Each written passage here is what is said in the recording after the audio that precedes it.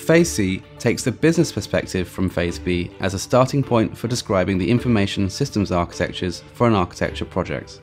TOGAF divides Phase C, the information systems architectures, into two, covering the development of the data and application architectures.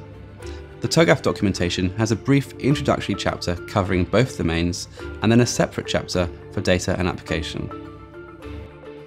As with the other architecture development phases B and D, the objectives are to develop the target information systems architecture for data and application and to identify candidate architecture roadmap components based on the gaps between baseline and target architectures.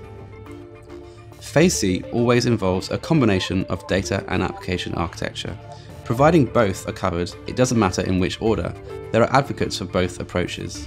The steps for data and application are very similar. Selecting reference models, viewpoints and tools, developing a baseline and then target architecture description, performing gap analysis and defining candidate roadmap components, and resolving any impacts across the architecture landscape. After conducting a formal stakeholder review, the architecture is finalised and the architecture definition document created. The key differences between data and application are in the subject matter, which is reflected in the use of different reference models, techniques, and architectural representations. For example, data architecture might use entity relationship or class diagrams, whilst application architecture might use an application communication diagram or software engineering diagram.